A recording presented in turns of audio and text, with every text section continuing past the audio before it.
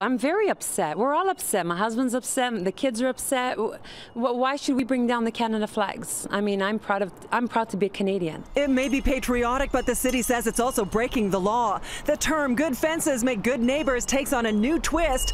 It's a fence flag flap. With Canada Day just around the corner, the Wisemans thought their neighbor would like their Canadian flags. We've had nothing but complaints about the, with the neighbor that he doesn't want the Canada flags up. He, they're, they're too high. The Wisemans wanted to keep the flags up all summer, and even though the fence belongs to them, the city has issued this notice of violation saying they have to take the flags down.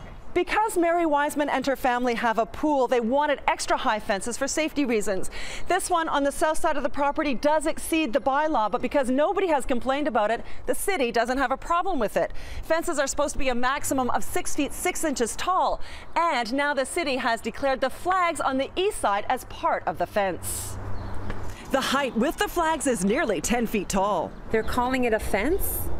Um, but it's not, it's flags, and they're only temporary. They come down in September. The city says this does not meet the criteria for temporary structures and that they have to follow the letter of the law when it comes to complaints from the public.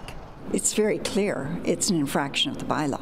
Mary Wiseman says their neighbor is an elderly man that they've had problems with ever since they moved in. He wasn't home when we knocked, but Wiseman says she's not backing down. I'm not taking down my flags. I will tie myself up against the fence but I'm not taking down my flags. I'm not. If that's the case, then the city will go in and take it down and charge her against her taxes. The city says Mary Wiseman has until June 13th to remove the flags or she could be charged with an offense and be liable to a fine or penalty. Mary says she's going to fight this in court. In North York, I'm Pam Seatle, City News.